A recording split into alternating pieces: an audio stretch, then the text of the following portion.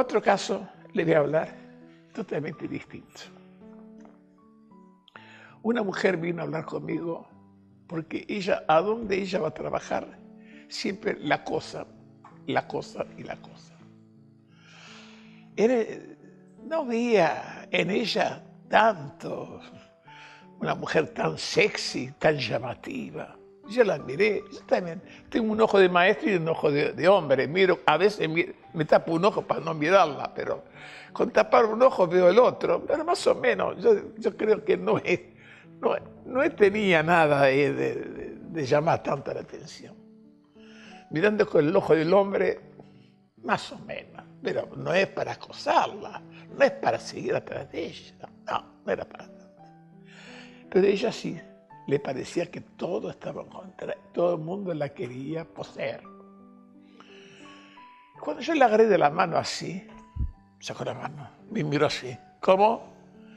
Yo pensé, ay, vos, sí que patinas, pensé yo. Ahí me di cuenta cuál es lo que pasaba. Así que el jefe está otra vez con usted. Otra vez me mira, me mira, yo siento. ¿Y cómo la mira? A ver, yo estoy sentado no trabajando, ¿no?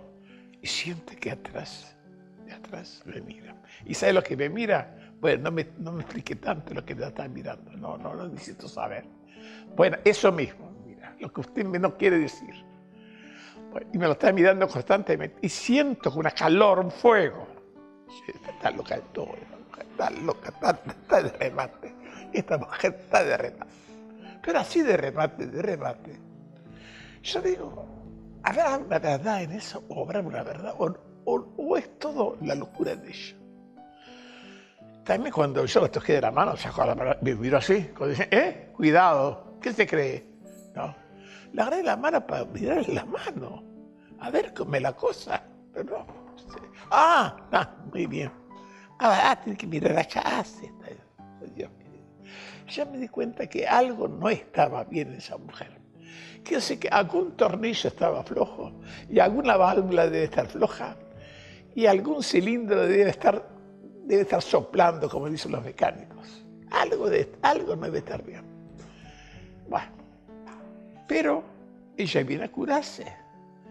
Y entonces le hice meditaciones, le arreglé y le arreglé tanto, tan bien, que ella sintió nada más que nadie, que nadie la quería poseer que nadie la acosaba. Ay, maestro, estoy muy negativa. Pucha, sé que nadie me mira ahora. ¿Qué me hizo usted, maestro? ¡Pah! Se me dio vuelta la tortilla. ¿Qué me hizo, maestro? Esa palabra que te dicen a uno. ¿Qué me hizo, maestro? Yo la equilibré. Le puse en la verdad, en la razón, en la lógica. Le, la equilibré y está perfecta estaba normal y seguro que no había nadie que la estaba, eh, nadie, la quería, nadie la, estaba acosando, porque más que pensar que la estaba acosando. Pero ella pensó que yo le había hecho algo que le saqué todo su positivismo y su atracción que tenía. Usted, usted es un vampiro, maestro. Me, me chupó la energía. ¿Cómo? ¿Qué es lo que me está diciendo? ¿Que yo le chupé la energía? Sí, porque yo tenía una energía divina, porque por todos lados la gente me miraba, por todos lados la gente, yo le gustaba. Yo iba a un lugar y yo veía cómo me miraban, hasta con deseos de poseerme. Y hoy nada, nadie me mira ahora. Ay, Dios querido, Dios querido. Qué triste yo pensaba es ser maestro. Qué difícil es ser maestro, ya pensaba. Hasta que dame la manito, ayúdame con esta mujer. Esta mujer la arreglé, ahora que está normal, no acepta estar normal, quiere estar loca como antes. Quiere estar otra vez con su manía, que, que la están atrás de ella. Ay, y dice ella, ¿qué es que te la ponga como antes? Yo creo que es injusto. Es, que ahora toma conciencia de la verdad que está viviendo y nada más pero que acepte como está, que acepte su verdadero, verdadera realidad. vamos a hacer eso, vamos a, vamos a trabajar en la realidad de ella. Bueno, empezamos a trabajar en la realidad. apareció una hermana de ella y me dijo, maestro, usted sabe que ella empezó a tomar barbitúricos. Tengo mucho miedo por ella. Tengo miedo porque ella lo lleva, el frasco lo lleva en la cartera. Y maestro, yo creo que esta mujer tiene ideas raras.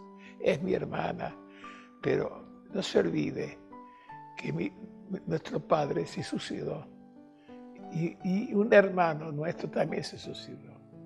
Algo tenemos que no andan bien las cosas y usted la está llevando a ese, a ese, a ese camino. Ah, hasta que vos no sabías eso, no sabías que de todo ese suicidio, la estamos llevando a un suicidio esta mujer. Me dice, no, no la estamos llevando a un suicidio. Ella quiere con eso demostrar y llamar la atención, sí, y lo va a llamar la atención. La que va a llamar la atención jamás se va a suicidar. Ella nunca se va a suicidar. La verdad que ella nunca se, se ya le pasó nada, nunca se suicidó. Y esa mujer iba con barbitúricos y en un día se hizo desmayada y, abrió un frasco así todo tirado, como si hubiera tomado una cantidad.